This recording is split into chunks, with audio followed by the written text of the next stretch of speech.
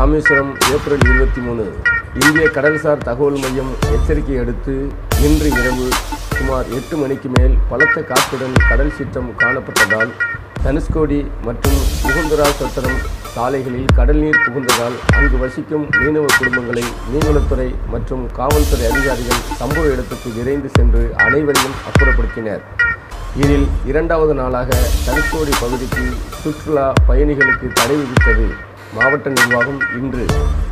இன்று இரவு எட்டு மணிக்கு மேல் தனுஷ்கோடி அரிச்சல்முனை மூந்தரா சத்திரம் ஆகிய பகுதிகளில் பலத்த காற்றுடன் கடல் சீற்றத்துடன் காணப்பட்டு சாலைகளில் கடலில் புகுந்து அப்பகுதிகளில் வசிக்கும் மீனவ குடும்பங்களை மீன்வளத்துறை அதிகாரிகள் மற்றும் காவல்துறை அதிகாரிகள் அப்புறப்படுத்தினர்.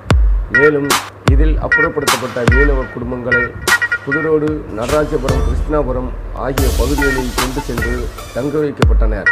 இதில் இந்திய கடல்சார் தகவல் மையம் இன்று பதினொன்று முப்பது மணி வரை கடல் சீற்றத்துடன் இருக்க வாய்ப்பு உள்ளதால் இரவு நேரங்களில் மீனவர்கள் உள்ளே நுழைய அனுமதி மறுக்கப்பட்டுள்ளது. ராமேஸ்வரத்திலிருந்து ஒளிப்பதிவாளர் ஒளிப்பதிவாளர் காட்டுடன் செய்தியாளர் கேவிஸ்டன்.